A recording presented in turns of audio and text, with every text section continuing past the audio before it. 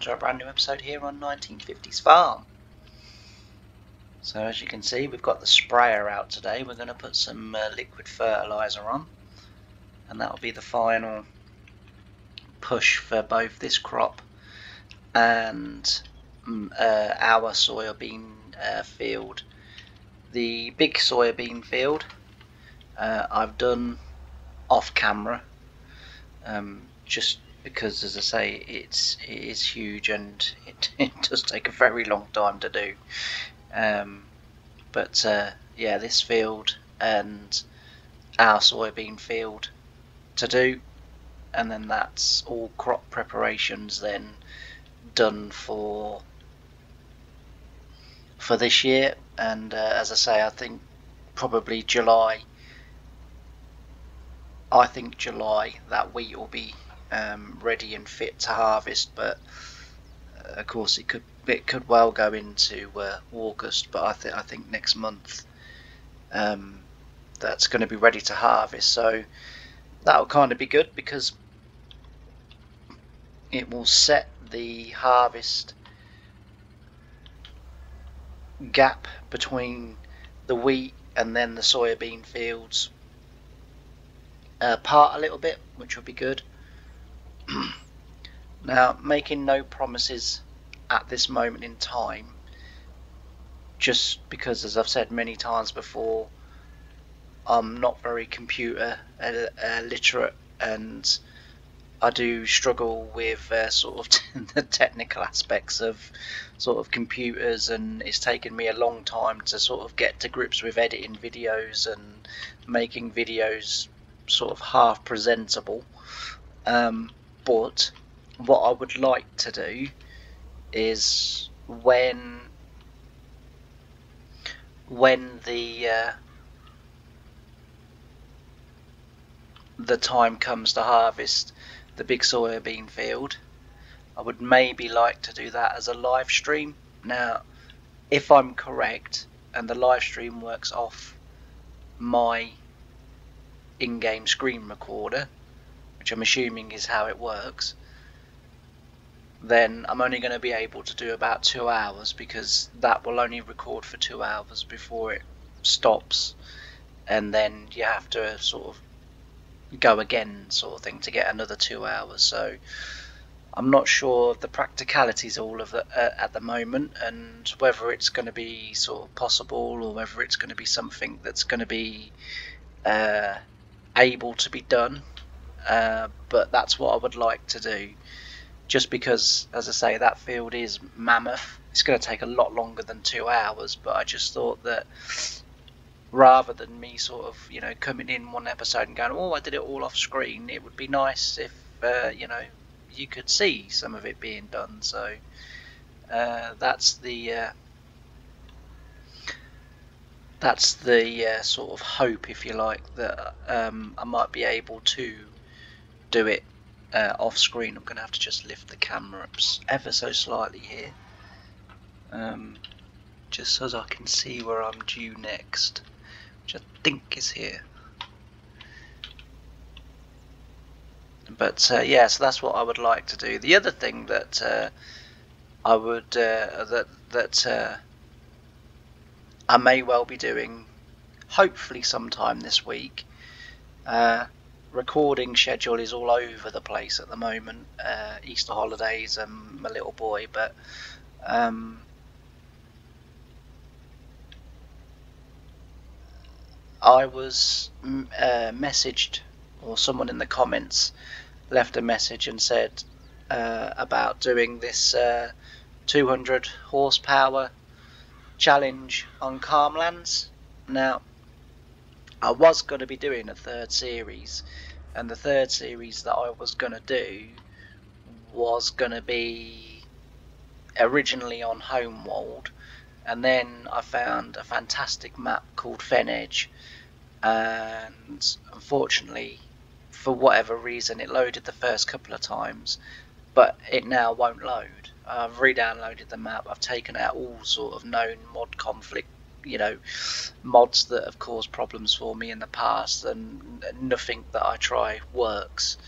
Um, so I, I don't know. Uh, so that was going to be my uh, third series, and of course the third series is going to be the Mega Farmer series, where we were going to do everything: factories, animals, you know, farming on a massive scale, starting from sort of, you know, medium size farm to working up to a massive farming organisation. My sort of thinking behind it was, and while I appreciate, you know, 99.99% of you have got no idea who Lincolnshire Field Produce is, but in the area where I live, they are considered uh, the biggest farming organisation uh, around. They have many, many, many thousands of acres of arable, of dairy, beef cattle, pigs, uh, vegetables, so potatoes, carrots, onions. Literally, that is a farm that does everything. Um, it is huge. Uh, I worked there for one summer. Uh, I went and helped out on the grain and potato cart uh, honestly, it is huge. It is like literally spread all the way across Lincolnshire, the farm bases and and uh, different things like that. So that was kind of going to be my inspiration. But until I can get Fen Edge to work, then I sort of kind of going to need something in the meantime. And whilst recording these two episodes does take, uh, you know, a great deal of my time in terms of editing and making sure that you know these videos go out every day.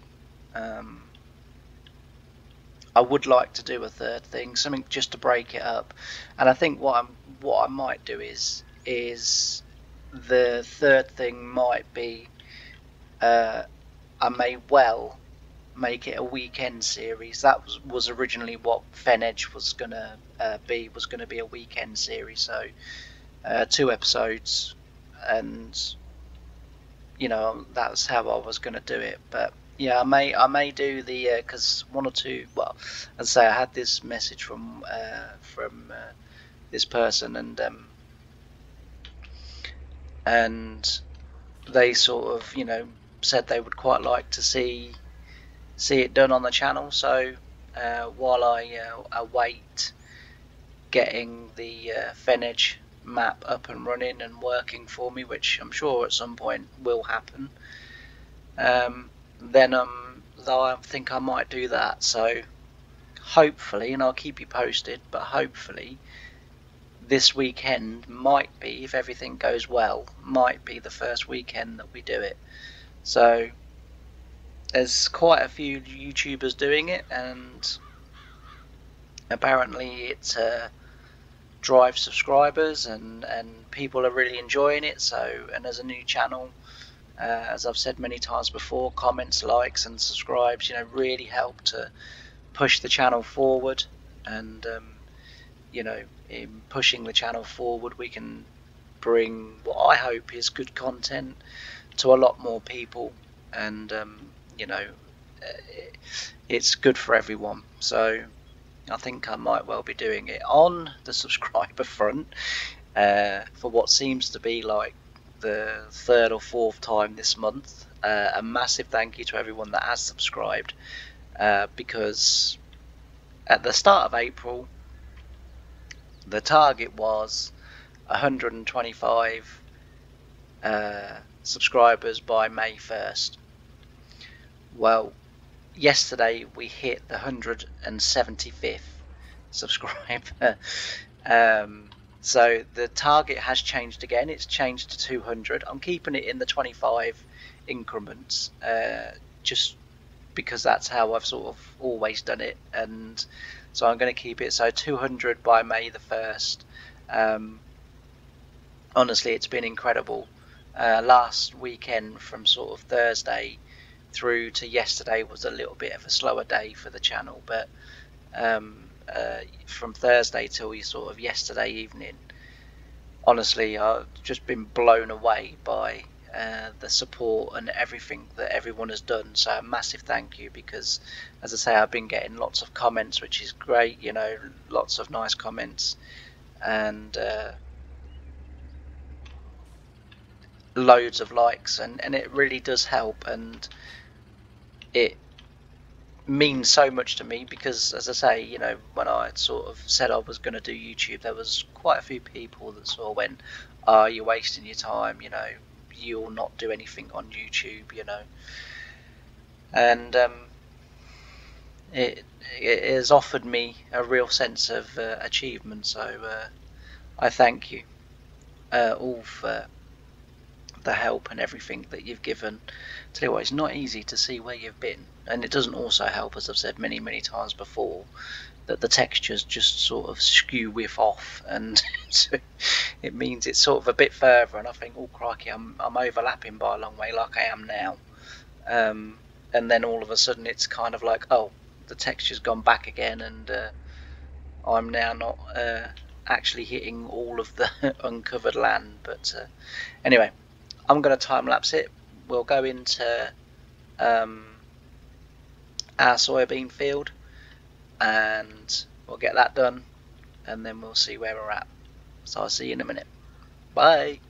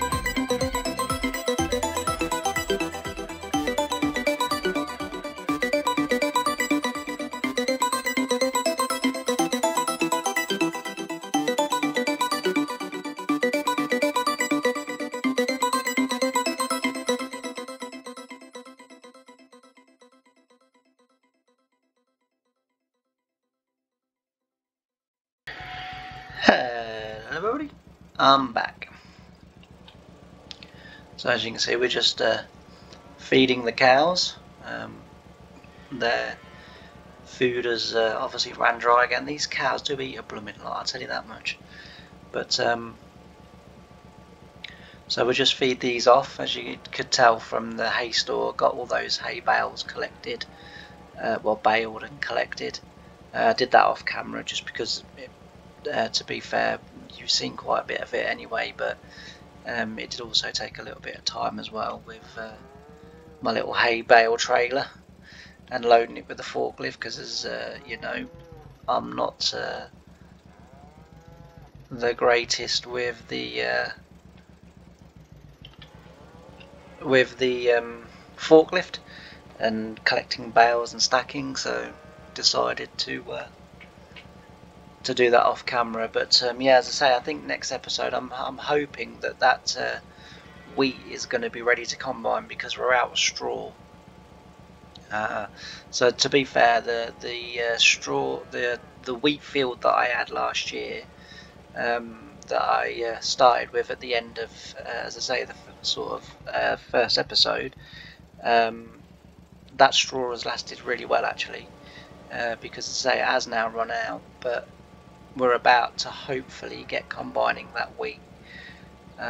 so that will be a massive a massive help and as well it will also mean that um, we will have uh, quite a bit of straw because not only will we obviously have the wheat field there which should give us enough straw we'll also have um, the soybean fields uh, to give us some uh, soy straw as well so I'm hoping we won't be running out of straw anytime soon. I think that wheat field alone will give us more than enough field for for the winter. Um, yeah, so as I say, like, and then the rest of it, whether we sell, uh, I probably will be selling uh, my straw because, uh, as I say, the dairy farm, you know, even back in the 1950s, was producing its own sort of straw. It was producing its own hay as well, uh, but I, I, just sort of thought it would add to sort of uh, a gameplay element in a way that uh, you know we provided the hay off our fields, but uh, it was something that the dairy farm obviously was able to do themselves. Um, but with us ploughing up our that's coming off there with us ploughing up our, uh, well, certainly half of our big field, um, the dairy farm is um, soon going to have to be finding a, an alternative source of hay. Um, I mean, I could, I, in a way, I, I, I guess I could. Uh, oh, tow rack. Darn it! Didn't realise I was so close. I've not done very well. I misjudged where that wall was, um, but I'm sure you didn't see that. That's fine. uh, yeah, I misjudged where that wall was. Uh, right, let's back that up. Should be able to back that onto there like that. Uh, and uh, yeah, so it's gone a bit Pete Tong in the last uh, few minutes. Uh, we'll sort that bale out in a second. Seeing as there is a cow this end. I will close the gate. I don't think, uh, well, I know they can't escape, but, but, um, is that going to lift it? Nope. What about this time? Yeah.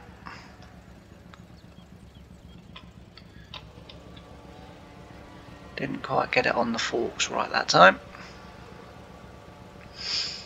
But yeah, so as I say, that's uh, wheat field. So next episode we will be getting the combine ready and uh, getting ready to, uh, as I say, harvest that field. Uh, we've got uh, our trailer ready as well, so that's always a a handy bit of kit when you're harvesting. I think uh, I think it's fair to say. So we've got our trailers ready. We've got um, as I say, we've got to get the combine ready, and then uh, we'll be away with the big cut. I have to admit, actually, um, while I was uh, doing the spraying, which uh, wasn't always easy to see where you was due next, but um, while I was doing the spraying, I was thinking about the Calm Lands challenge, and I'm actually quite looking forward to that. It'd be quite interesting. It surprises me that they've sort of set the one of the rules that it's you have to be on easy difficulty. Uh, I don't normally play on well, I don't play on easy difficulty just because it is too easy.